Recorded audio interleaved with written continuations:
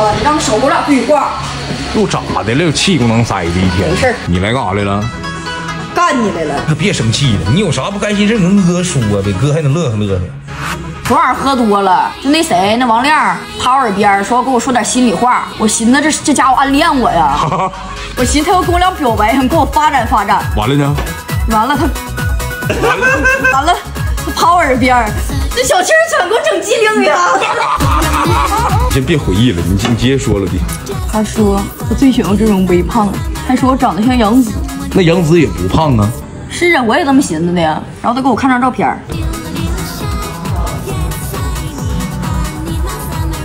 拉木杨子啊。嗯呐，操！